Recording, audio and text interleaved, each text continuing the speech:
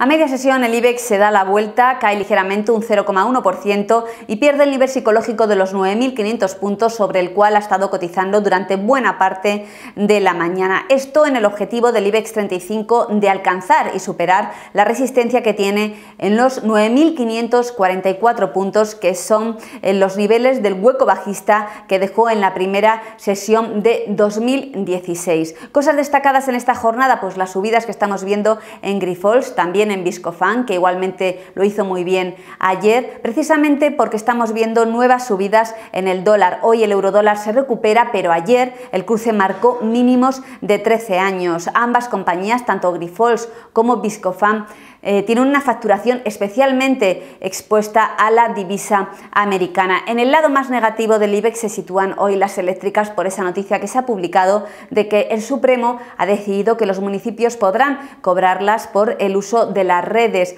Una noticia que es una gota más en la incertidumbre regulatoria que rodea a las eléctricas de nuestro país, dicen los analistas. En el plano macroeconómico se han publicado datos destacados como el paro aquí en nuestro país, que ha registrado una caída anual histórica. También los PMI servicios que han salido mejores de lo esperado en Alemania o la zona euro y estamos esperando las actas de la última reunión de la Fed que se conocerán ya con las bolsas europeas cerradas y que se analizarán con atención para tratar de conseguir alguna pista sobre el ritmo de subida de tipos de interés de la Reserva Federal a lo largo de este año.